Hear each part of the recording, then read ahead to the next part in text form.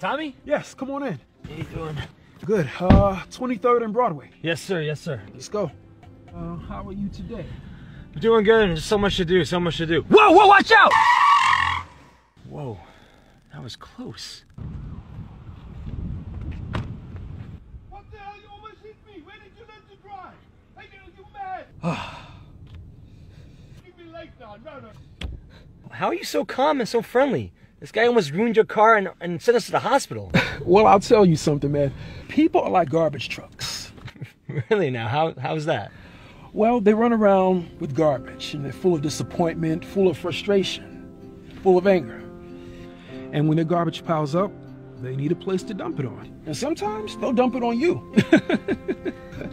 but you know what? You don't take it personal. You just wave, smile, you wish them well, and you move on. Don't let their garbage spread to the people at work, at home, or in the streets. You love those who treat you right, and you pray for those who don't. See, now life is 10% of what you make it. The other 90 is how you take it.